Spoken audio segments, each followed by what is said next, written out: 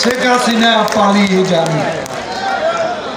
শেখ হাসিনার কান এই বঙ্গবন্ধু অ্যাভিনিউতে কানের শ্রবণ ভবনের ইঙ্গিতে সেদিন গ্রানের হামলা করে তার একটা কানের শ্রবণ শক্তি কমে গিয়েছে।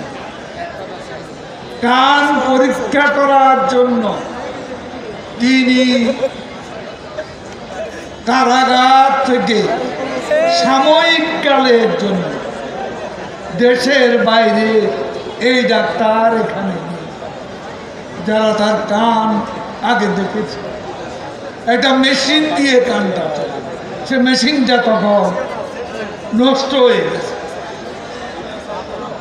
সেজন্য তিনি বাইরে গেছেন কিন্তু কথা হচ্ছে শেখ হাসিনা বাইরে যাওয়ার পর তিনি কি বাইরে থেকেছেন? চিকিৎসা শেষ, তিনি লন্ডন হিচ্চ বিমান এই পল্টন থানা মামলা দিয়ে হুলিয়াদারি করা হলো শেখ হাসিনার বিরুদ্ধে, যাতে তিনি আসতে না পারেন ফকুল সাহেব, আমার কথাগুলো কান পেতে শুনুন। সব ব্যাপারে মিথ্যাচার করবেন না। বাংলা সব জানে সে কাহিনী জানে।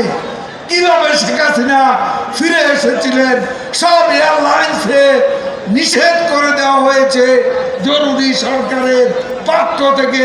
শেখ হাসিনা যেন না আসতে পারে তাকে টিকিট দেওয়া হবে না। তার টিকিট রিফিউজ করা হয়েছে। এয়ারপোর্ট থেকে বারবার বলা হচ্ছে আপনি ফিরে যান। তিনি বললেন আমি বসে পড়লাম। আমি আমার দেশে ফিরে যাব। আমি আমার দেশে ফিরে যাব। কত মামলা হবে? গেলে অ্যারেস্ট করবে আবার জেলে নেবে। ও জেলকে আমি ভয় পাই না। বন্ধু ভয় পাননি? আমিও ভয় পাই না। ওয়ান পালানোর গল্প, সেটা কেবল আপনাদের। সেই পালানোটা কাপুরুষের মতো। যেমন মুসলেখা দিয়ে আর রাজনীতি করব।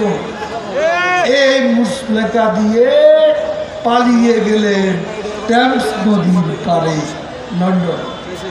কি? সেই যে গেল গেল রে গেল যুবরাজ, আর তো এলো না কোথায় গেল যুবরাজ?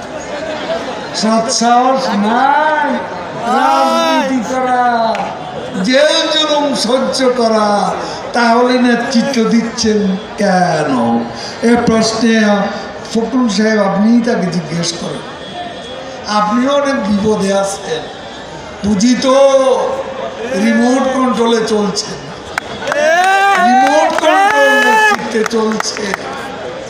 এতে রিমোট কন্ট্রোলে আজ যাই হোক বাংলাদেশে আন্দোলনে জেতা যাবে না। এখনও বুঝতে পারেননি। বুঝে নিন ফকুল সাহেব এখনও সময় আছে। তলে তলে তো নির্বাচনের প্রস্তুতি নিচ্ছে। আবার নাটক করলেন কেন? নাটক করলেন কেন? সাতজন তো অন্তত হারুন আর ওই মহিলা রুমিন ফারানা দুজনের সংসদে কিছু কথা বলত। সেটাও তো বন্ধ হয়ে গেল। ভুল। ফখরুল সাহেব আপনাদের রাজনীতি ভুলের ভুলের চোরাবালিতে আটকে গেছে। পদযাত্রা করে সেই পথ উদ্ধার করা যাবে না।